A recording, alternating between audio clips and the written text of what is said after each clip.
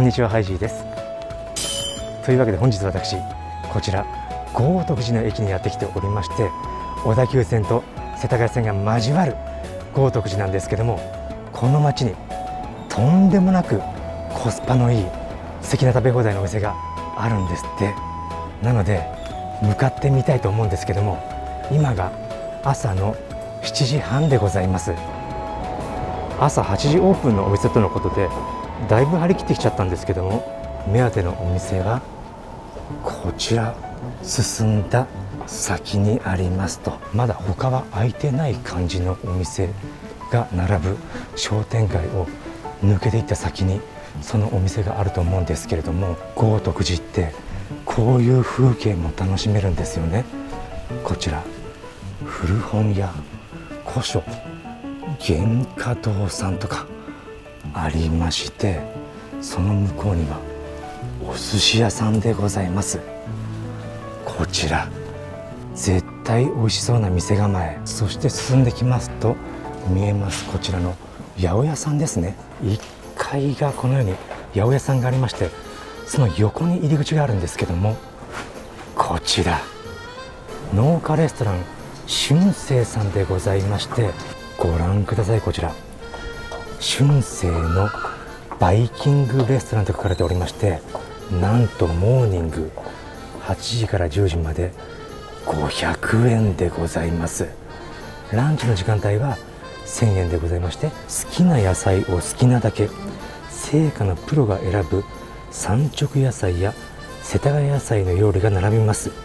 無添加調理にこだわり旬の野菜そのものの味を楽しめますと書かれておりましてこれは相当ヘルシーな朝食バイキングが楽しめるお店となっておりまして入っていこうとしますとこういった光景この道を抜けたらお野菜パラダイスってことですね。入店しますとこのように券売機がありましてモーニング500円となっておりますね。で上がっていくんですけどもこちら靴を脱いで上がっていくシステムでございまして早速こちらからコンソメスープ食前がおすすめ食欲を刺激すると書かれております。そしてカレーもあるんだ。カレーあってご飯もあります。照り焼きチキンと根菜のトマトリゾット。色鮮やか。野菜の炊き込みご飯とか。そしてこちら醤油とか白ごまとかある中で友達があるってことはパンもありますよね。世田谷野沢直送のパン。いっぱいこれ取り放題ってことなのかな。でこのように畑バー畑バーはこのようにぐるっとお野菜がありましてドレッシングもたっぷりです。バーニャカウダーとかもあるんだ。でこう進んでいきますとごいぞ。ほっこりする味。筑前煮。かぼちゃの煮物。そしてなんて読むんだろう。人気でありながらレアなやつです。こう回ってきますとインゲンとオクラのナッツあえとかポテトサラダも山盛りです。で席の感じも素敵すぎる。器もとにかくおしゃれですしドリンクバーだけでもこの種類です。種類めちゃめちゃある。アセロラとかピーチティーとか。それでは早速お料理取っていきましょう。そしてパンも焼くことができますね。さあ取ってまいりましたけどもこれね信じられないくらいのおしゃれ食べ放題でコスパ改めて半端じゃないです。500円でこんだけサラダお野菜がいただけるってこれまだ第1弾ですからね。1周目でなんとなくテンパってこのグリーンリーフ的なものを中心にいっぱい取ってきちゃったんですけどもそんでちょっとね第1弾で取ってきすぎちゃった感じもするんですけどもここの感じでパンも2個焼いてきましてでポテサラはねちょっとかぶった思わずかぶった。でこれとこれ。とにかくめちゃくちゃお野菜どっさりです。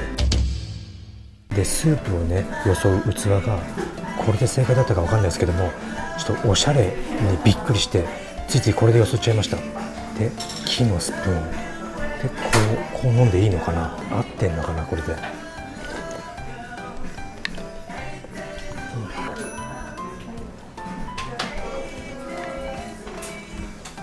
の皆さんねこれにカレー入れてます。スープはスープでこのくらいのボール皿みたいのありました。どうやらいきなりちょっとやらかしちゃった感じしますけども食欲も刺激されましたのでバクバクとお野菜食べていっちゃいましょう、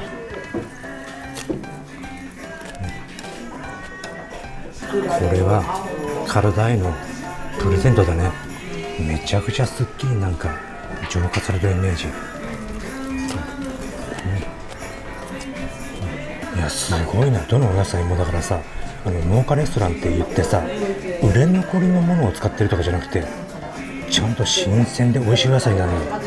そこなのよびっくりしてんのは。うん。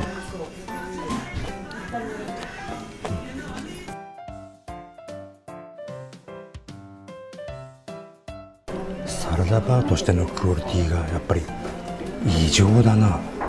お肉がないの寂しいなって思わせないサラダの。美味しさ。あすいません。お肉ありました。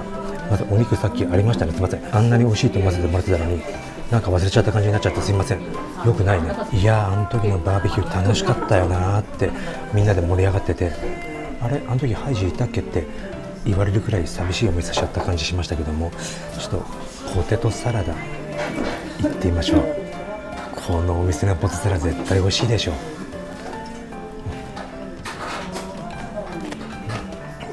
すごい自然で家庭的な味わいで優しい優しい味。本当に優しい味。家電売り場でさ自分の担当のメーカーじゃない商品の説明もちゃんとしてくれる販売員さんくらい優しい。人参の甘さとかもちょっと突き抜けてる感じでめちゃくちゃうまい、さあ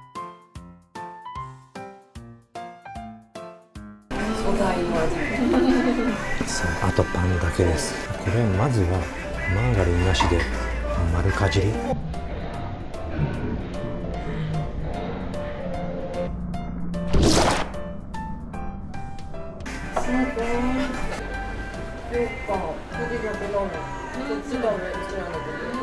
ナチュラルにうまいやつだこれと牛乳でずっと食べてたやつこう開けてはい開けましてマーガリンちょっとまだねすみません。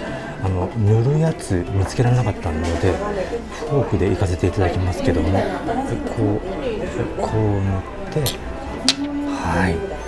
これちょっと待って何個でも食べたくなっちゃうな。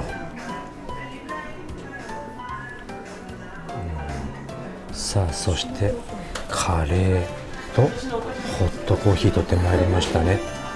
カレーはとにかくルーをお玉ですくうたんびにどんだけお野菜ゴロゴロなんだって思わせるくらいのゴロゴロ感でした。ほらもうでか切りお野菜がゴロンゴロンでしょ。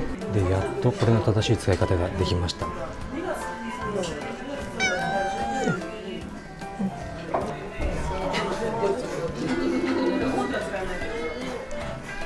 ちゃくちゃ暑いじゃん。ビビった。は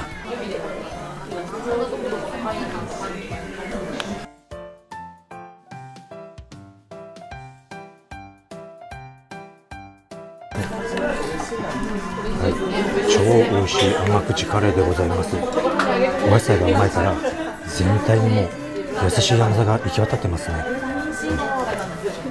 うん、そして新たなパンも追加されてましたのでちょっと取ってまいりまして。これなんですね。でパンのお友達なんですけども結局マーガリンがいいよなってなっちゃいましてなんだろうね。せっかくこういう場所なのに家でも食べられるマーガリンになっちゃう。この感じね。うん。でもやっぱりこのバゲットはマーガリンが一番合うもんね。この鉄板の組み合わせというかね、まあ、マーガリンも控えたいというのがあるんですけども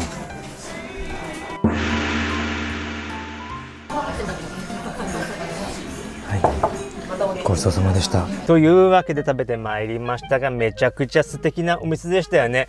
こんなにさ、色とりどりのお野菜をヘルシーにいっぱい食べられると。で、最後実はね、私、あとボール1杯分くらいサラダ作っちゃおうかなっていうのもあったんですけれども、待てよと。ヘルシーだからといってそれをバンバン行き過ぎたら、今度は食べ過ぎちゃってるよね問題が出てくるのかななんてことも思って、例えば最後もう一杯サラダボール作って食べたとしたら多分僕ね、こんだけ食べたんだから、じゃあもう一杯くらいカレーとか、ちょっとご飯多めで食べたりとか、パンもあと何個か行っていいのかなみたいな気分になって、そっち行っちゃって、あれ？じゃあ、もうこれ食べちゃった分、サラダをいっぱい食べてバランス整えなきゃみたいなことをしだしてもう無限ループに陥るのかなと思ってあそこで止めといたという形でございますけれどもそれでも十分満足感のある素敵な食べ放題でございました。500円でこれはもう神神メニューとしか思いません。近所にあったらみんなが喜ぶ素敵なお店だなと思いました。超おすすめですので気になった方がいらっしゃいましたら行かれてみてはいかがでしょうかっていうのもありますがそれは一旦置いておいてまた変なコメントが来てるんだ。だから紹介しますけれども、ウェイさんからのコメントで、温泉にビート板持って行ってそう持っていくわけないじゃん。温泉にビート板。だいたいさ、温泉ってなんか知んないけど、入ったら必ず怖そうなおっちゃん一人はいるじゃん。背中からしてすごい威圧感のあるおっちゃん一人はいるから、ビート板なんか持ち込んだ瞬間に、おいこらって言われるから、絶対持ってかない。バシャバシャする気満々だもんね。ビート板持ってる時点で。だし、マイビート板持ってないでしょ、普通。ビート板ってもうあれじ、じ、あれ持ってんの自分で。持ってないよね。大体は、あの、歯型のついた、みんなの共用のやつを使う感じじゃん。っていうか、歯型なんであれつけんの？あ、なん、なんで歯型が食べたいの？どういう意味？全くわかんない。ビート板って美味しそうに見える？なんかさ、100歩譲って、練り消しね？練り消し、コーラの練り消しとかさ、こんだけいい匂いがするってことは、絶対にペロッと舐めたら、その味するじゃん。こんなにいい匂いでこの質感で、これでコーラの味しなかったら嘘でしょって思って、その誘惑にね、乗っかっちゃって、もうペロッと言って、あれ嘘でしょ？何の味もしないみたいなことは経験誰もあるかもしれませんけども、ビート板に関して何の味を求めてかじってんの？哲也さんからのコメントで UFO キャッチャーでお菓子調達してそうしないよ。コスパ悪すぎるよ。あのだから UFO キャッチャーってねお菓子いっぱい積まれてるやつとかあるじゃん。あれをなんかやりたくなっちゃって、やっちゃうって気持ちはわかるんですけども、僕もやったこと何回もある。何回もあって、結局取れないんだよ。あれなんかしないけどさ、タワー型にさ、お城みたいな感じでアポロチョコが積まれてあってさ、こんなのちょっとちょんって触ったら、全部総崩れして全部持ってけんじゃんって思いながらもあれ取れないのよね。アームがちゃんと下までこうやって下がってガンってやってくれるわけじゃなくて、なんかこのサバサバするだけみたいな設定のやつが多すぎて取れないのよ。で結構さ、激トレ。超初心者用みたいなやつで、うまい棒のさ、UFO キャッチャーがあったりするんですけども、あれも100円入れて10本取んなきゃいけない。元取るんだったら、もっと取んなきゃいけないっていう一発勝負。あれ無理よ。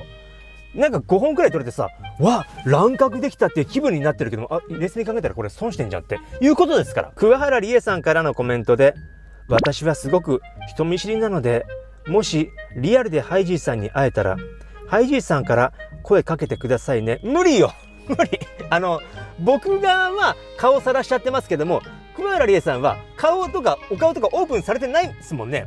僕から気づくの無理です。